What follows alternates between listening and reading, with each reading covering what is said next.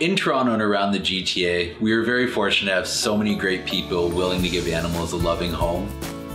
Our rescue transport program has allowed us to increase our life-saving capacity by assisting other communities and organizations who may not have the access to resources we do. In 2018 alone, our rescue transport program helped over 1,500 animals find new and loving homes. This past week, we've set new records in one week, we have rescued over 70 animals through our rescue transport program. These guys came from all over North America, including over 30 from a remote community in Northern Ontario.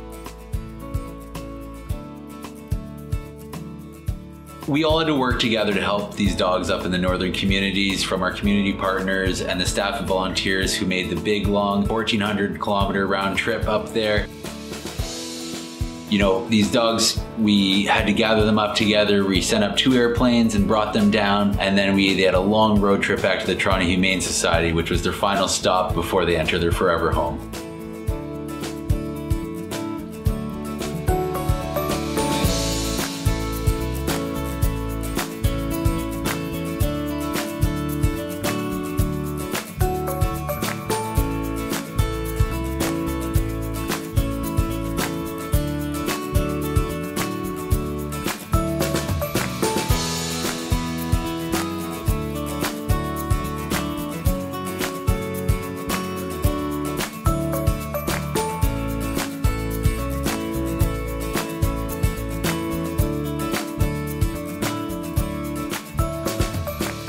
So excited to be a part of these initiatives at the Toronto Humane Society as they truly do save lives. Uh, through rescue transport and through all of our partnerships, we really do make that impact and we could not be happier with the way this last week went.